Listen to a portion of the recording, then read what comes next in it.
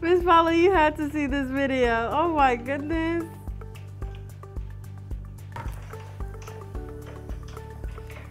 oh my gosh. That's too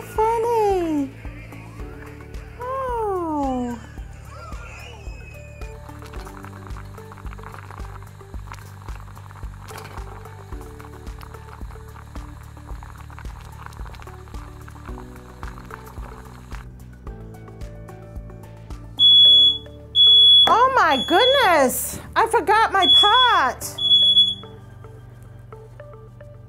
With all that goes on in our busy lives, it can be very easy to forget that you placed a pan on the stove. It's a common mistake. You put something on the stove to cook, and then you get sidetracked.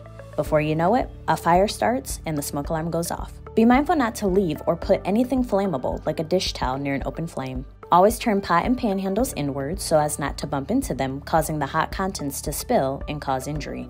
Always have a fire extinguisher that is easy to reach in your kitchen by an exit door in case you must extinguish a fire.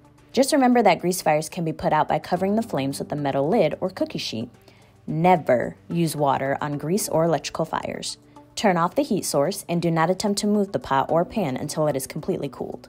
Always make sure you have working smoke alarms and change the batteries twice a year. In the case of any fire, call 911 as soon as you suspect you can't control it. Be careful and stay safe.